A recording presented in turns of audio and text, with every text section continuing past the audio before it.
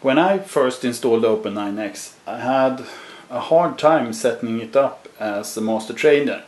And um, the reason is that there are several different things that you need to do. It's not set up to start off by default. Uh, and that means there are several things you can do wrong. I think I did everything wrong at least three times, so it took me hours actually to get it working. So I thought I'd give you a head start and uh, show you how easy it is and how full control you've got when you've set it up. I'll be using these two transmitters. The new 9XR, that one, and the somewhat older 9X. I'll use this one as a buddy box and this one as a trainer.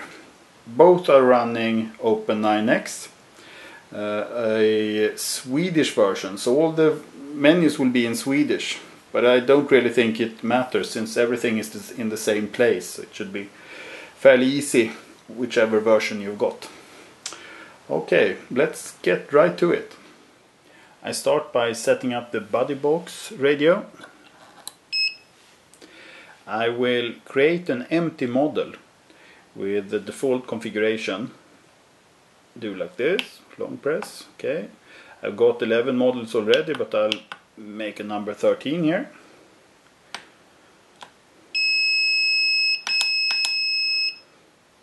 Okay, and then don't press into it. I'll give it a good name. about buddy?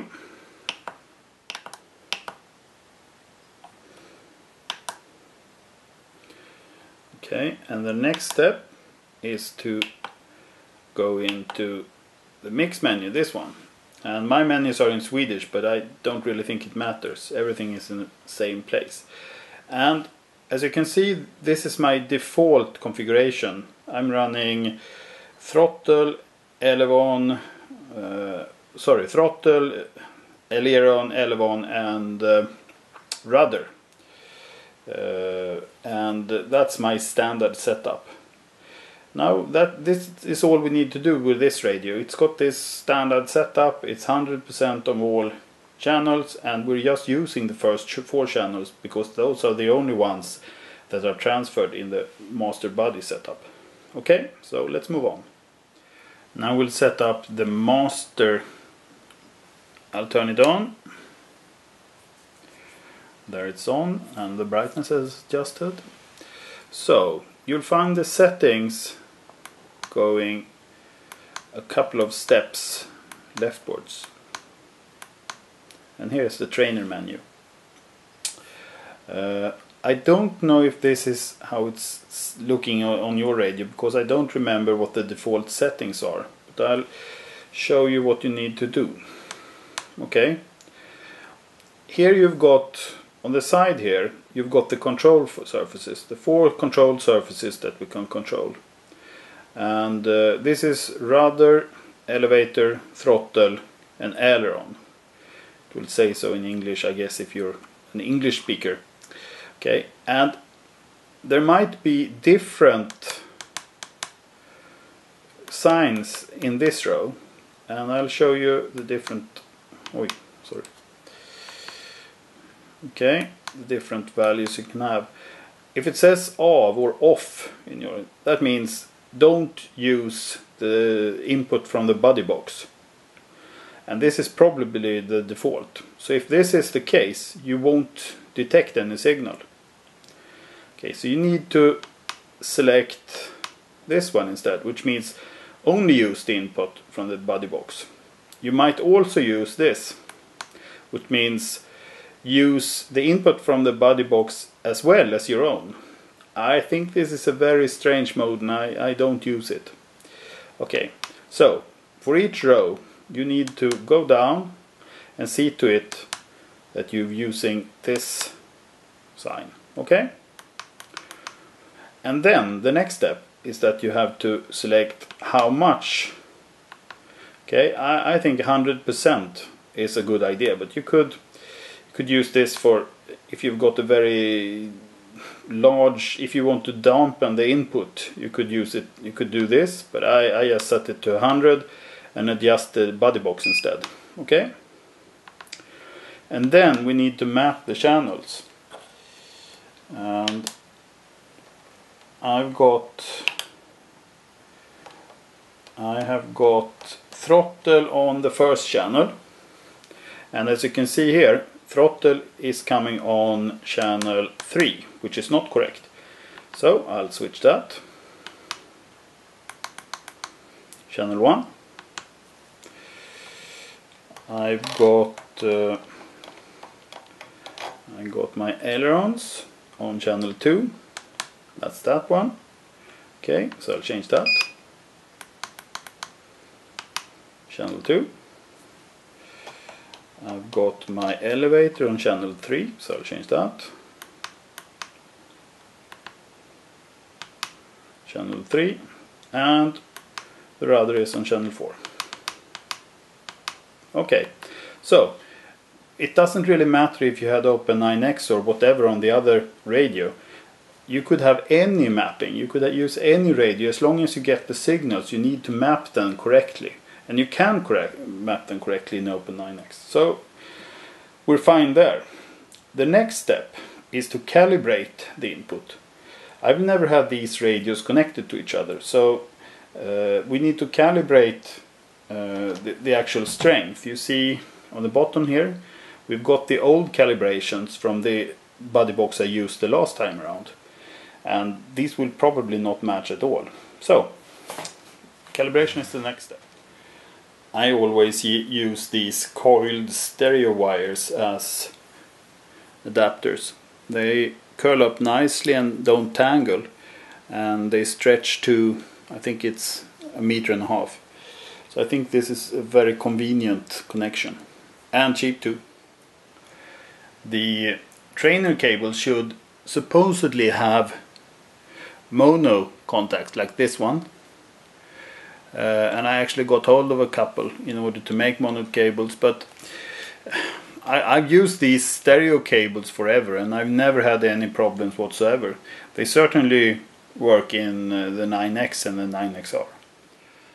To calibrate the radios we got to connect them and the master radio you, you start by turning it on and uh, then connecting the cable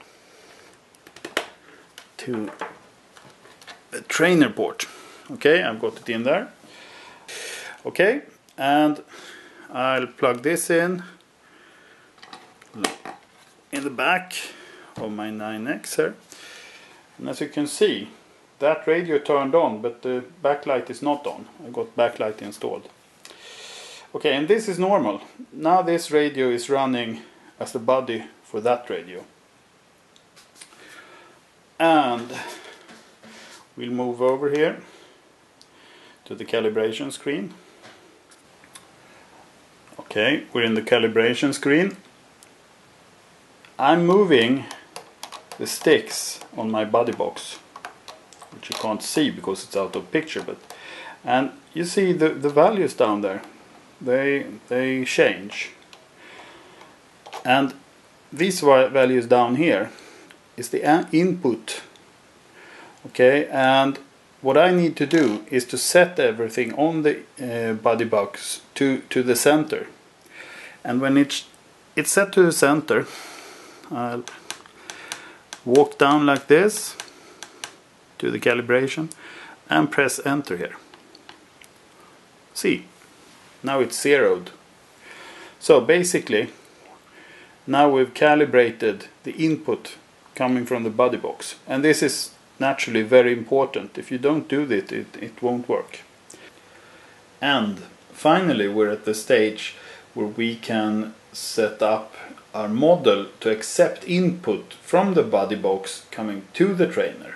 We've already set up the link and connection. We have calibrated the values so we'll get the right values over. So the the last step what what I didn't really understand when I started out because we need to go in to the model setup. And on the last screen number 7 in my radio we need to set up a switch function. The switch function for the trainer switch which is not on by default. And I think a lot of people will have problems with this. You really need to enable the throttle function uh, sorry, the trainer function for each model. So I've got one set up already, but I need another one. And uh, it says gas here, I want to have trainer. Go around there. Here and that's trainer. Okay, now I set that function and I actually got uh, trainer to start off with. That's exactly what I wanted. There are numbers to choose from, so I won't I won't go through them. But trainer is good. Okay, uh, and then that little item there means that it's on. So this is exactly what we needed to do. Okay, so now this model here will accept input via the trainer uh, input, which means that it's usable. And one last thing, something I've found to be very useful is when you fly with children and try to teach them. They're they're very good at, at controlling the airplanes. They're not that good of controlling the throttle. What you can do is to go down to the throttle channel here and turn that specific channel off. Okay. This way, when you give control to the buddy, they will only control the flight surfaces, not the throttle. So the throttle will stay with you, which means that you can kill the engine if something really bad happens. Uh, and, uh, and you can help them by giving them the, the, the amount of throttle they need in every situation not to stall. And I think that's very convenient. I, I haven't been able to do that with my other radios. That's all for today.